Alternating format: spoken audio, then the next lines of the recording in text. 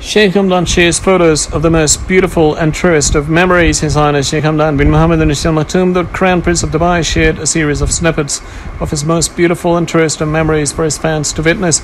With a whopping fan base of 11.6 million followers, Sheikh Hamdan is regularly sharing throwback photos on social media, which vividly de- describes and expresses the innocence from his childhood days with his love for photography, constantly reaching new heights. The Crown Prince of Dubai also has the description in his Instagram bio. Every picture is a story, and every story is a moment that I would love to share with you.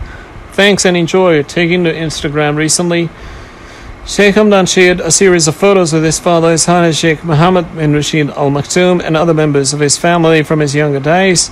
Having also shown his early days of fashion with a red and white collared shirt while posing in the 1980s, 1990s, the throwback images are beyond adorable, and we all just can't get enough of them.